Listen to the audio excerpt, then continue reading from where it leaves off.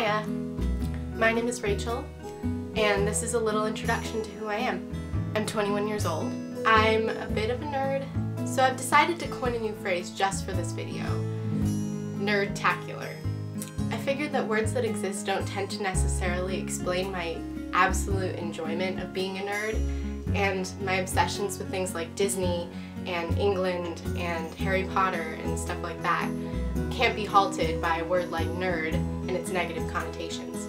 I'm a senior in college, which means these are the last few months before I actually start to see what the rest of my life is going to look like. I'm a journalist turned film nerd. I really, really like storytelling, and it's the fact that I like stories that I decided to come here. The real reason that this video exists, though, isn't just to introduce who I am. I really wanted to talk about beginnings. Since this is my first YouTube video, I figured it's just the right place to be doing that. So I decided to compile a list of things that I thought of when I started to think about beginnings, starting YouTube and otherwise.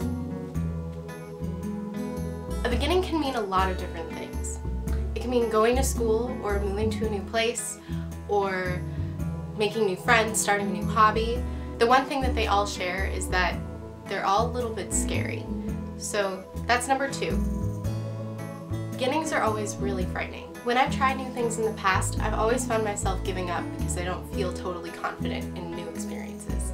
Take this YouTube video for example, I made two or three iterations already wishing that I could have uploaded them, but then not feeling confident enough to think that people would want to watch it. The fear that we feel though, and the fear that I felt when I started making YouTube videos, is not something that we should totally take to heart.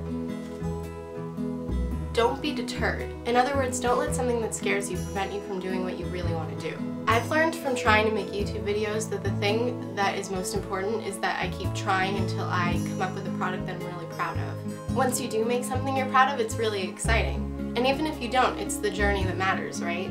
I've never really believed that the journey is the destination, at least in regards to travel, even though people always say that, but I do think it applies here. Because the most important thing is to take every opportunity you're handed. Even if you're not sure something's going to come of your efforts, who knows what will happen when you actually attempt it. Sometimes it's the smallest choices that make the biggest difference. The most important thing about beginnings, though, is that you remain true to yourself. I could have come here today and started making a YouTube video with my hands in the air and feeling totally enthusiastic and crazy. And I know that that would have maybe come off as a little bit more exciting, but that wouldn't necessarily be me.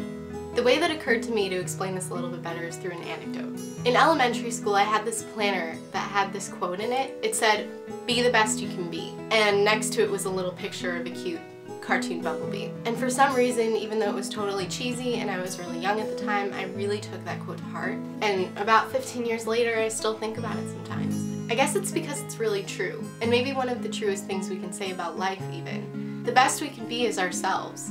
When we aspire to be something bigger than ourselves, it doesn't necessarily come out how we planned. The moral of the story though is that beginnings may be hard, but when it comes down to it, if you are who you are and you do what you love, you're gonna make someone happy, and even if you don't, you're gonna make you happy. So anyway, thank you so much for watching.